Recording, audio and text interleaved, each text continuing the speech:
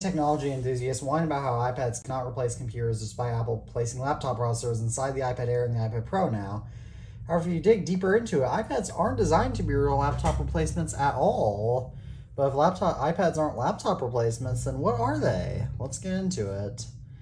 Many Apple enthusiasts claim that because Apple markets iPads as computers that they are designed to be laptop replacements, but that iPadOS lacks the features capable of making iPads laptop replacements, or that you can simply not simply run macOS on iPad. However, when Apple has never, however, Apple's never stated the iPad is a full computer replacement. In fact, when Steve Jobs announced the first iPad in 2010, he stated that the iPad is a cross between a smartphone and a laptop. Even though an iPad cannot replace a laptop even today, you no longer have to transfer a bulkier laptop if you do everything you would need a laptop for if you have an iPad. For example, as Apple advertises, you can run many applications that can be found on Macs, PCs, Chromebooks, such as Microsoft Office applications, Google Workspace, the iWork suite, the remains of the iLife suite, the Adobe Creative Suite, and more. You can even run Final Cut Pro, Logic Pro, and Swift Playgrounds, a light version of Xcode on Mac on an iPad, but they are subscription, so you should not use these three those three apps. But even though the versions of many desktop applications on the iPad are nerfed compared to their desktop counterparts, they do still serve their purpose of assisting customers with their work with a larger display than a smartphone without needing their laptop all the time.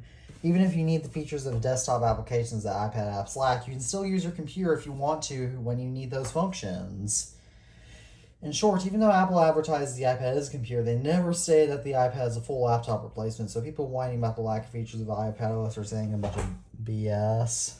I'm sure at this point that some of you have commented that iPads are built for more than media consumption or light tasks because of M1 and M2 processors being located inside of iPads now, which are the same processors that many Macs use.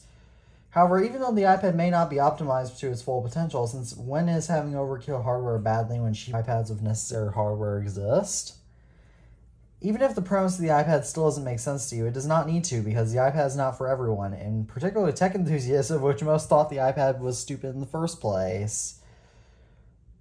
However, people that love using their iPads to have, to have a larger screen than their phone, but the easy use of a smartphone like me, the iPad is a perfect cross between a smartphone and a laptop. But do you think iPads are stupid in the sense of work or not? Please comment that down below.